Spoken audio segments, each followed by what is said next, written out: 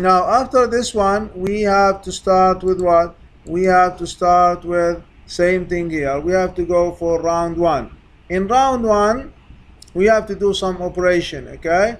Now the first operation in round one is called expansion okay? Expansion and permutation which is used the e table which is used the e table okay? Uh, now this is the e table. We go, go and find where we can do the expansion. So let's go back to the excel this is the first round and we start. The first operation is called expansion. Expansion is as is um, a very simple operation. Same thing we have to rearrange the text according to the matrix. Expansion this is the matrix I'm gonna use for the expansion. So what I do I'll make it a little bit bigger. What I will do you see in the matrix we have in the middle 1 2 3 4 5 6 7 8 9 10 9 10 now now I have to split it into two halves. This is the first half okay which is 32 bit uh, this is I'm gonna make the color different.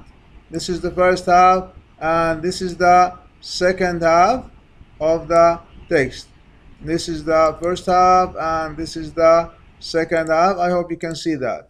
This is the left one. Okay this is the left half. I'm gonna call it here L0 and um, the second one is called uh, R0 this is R0 and the second one is called R0 so all the work will be done in the R0 so I'm gonna copy the right side here copy the right side. This is done in the expansion. So in the expansion I'm gonna use the right side only. So take the right side. I will put here R0 so you know that is the right side. I'm gonna arrange them as well from the beginning uh, and give them some position. And I will have to it should be from 1 to 32 bit I have to arrange them according to this matrix now for to do the expansion. Now this is 32 bit I need to convert that from 32 bit into what into 48 bit so I can uh, deal with it how we do that same thing. We start, forget about these two column in the row. We start with the middle. This is the middle. One, two, three, four, five. I have one, two, three, and four. So I take the position one, two, three, four, and put them in the matrix here. One, two, three, four, and put them in the first row.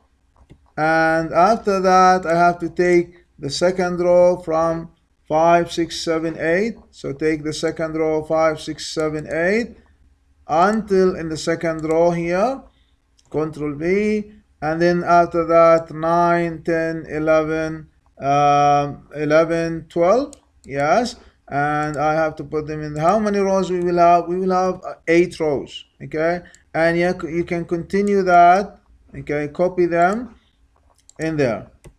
You see, I copy uh, according to the number. From 1 to 4 is the first one, from 5 to 6, second one, 9 to 12, 1, 13, and so on. All right, so we have to you know, make sure that we don't miss any bit at all. Uh, otherwise, uh, you're to have uh, to miss the whole encryption thing. And we almost done here. We are almost done. We still have only uh, the last two okay the last two from to 28 and this one here and the last one from 29 to 32 this is from 29 to 32 uh, this is we put it here okay now for the column we have to add two columns. One here one column here okay? And I'm gonna just make it um, bold so you can see it. And another column we added on the other side okay? And the other column we added on the left side and the right side. So now what is gonna be here? In here you can see we have the bit 32 okay? Now to make it easy for you without looking at the matrix. This is the bit 32 I'm gonna copy from uh, put the bit 32 here. The bit 32 now is 1 so I'm gonna change the uh, color of it. This is the bit 32 it's contain 1 I'll put the 1 here. Then I will copy I will copy the rest without the last one. Copy okay and paste it down the column. So this is the bit the last bit in the last column will become the first bit and we copy the other bits uh, down neath that one. It's become now new row. The second column will have the opposite okay? We contain number 5 where's number 5 in the matrix? Number 5 is here actually so this is number 5 is here. What's number 5 uh, is that. So we can copy from number 5 to the end okay? And paste it right here in the second column. So this is the second column now. The second column is missing a number. The number in the second column is actually the first one that we jump on it. So this is the first one. And this first one we should move it to a we should move it to the last thing here. So we have zero here. So the first column is moved there and the second column is moved to the first column. All right? So this is how is it work? I hope you can understand. Now we have we have to put them what in one line. So we have to copy them the same way that we copy the text we have to copy the first line here copy and put it in one line all together control V. And the second line we copy it as well and we add it here. And also then we copy this one and we add it at the end so to make it one line.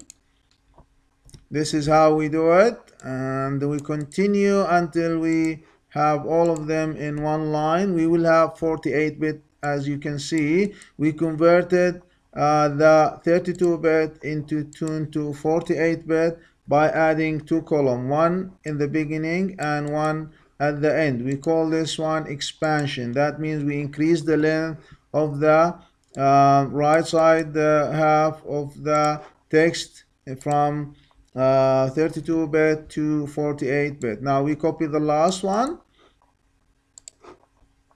and here we go. We have the new R1 we have the new R0 we have the new R0 that's you remember we just rearrange the uh, letters according to the matrix and add two um, values. One at the beginning and one at the end. As you can see how many bits we have.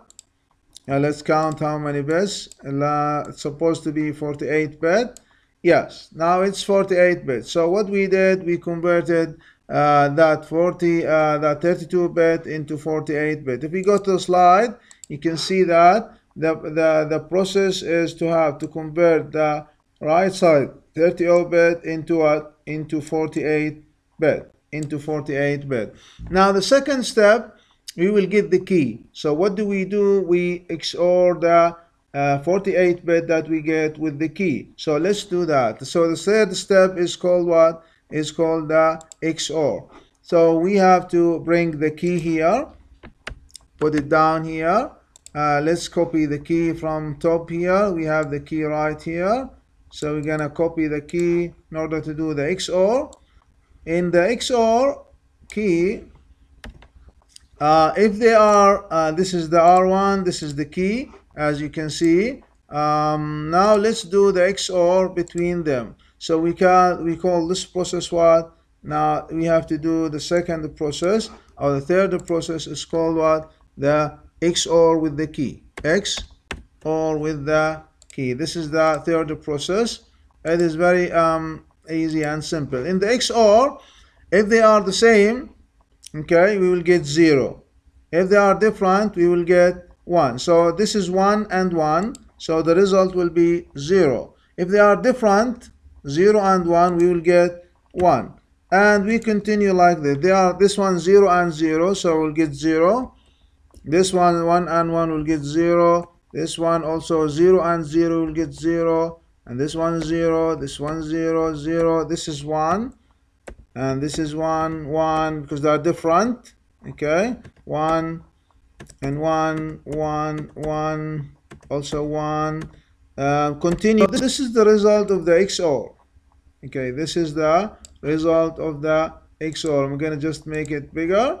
These are the result of the XOR now this result is very important.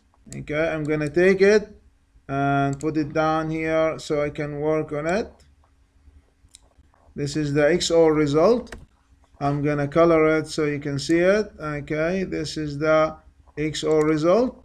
Um, now let's uh, see what's the next stage this is the XOR result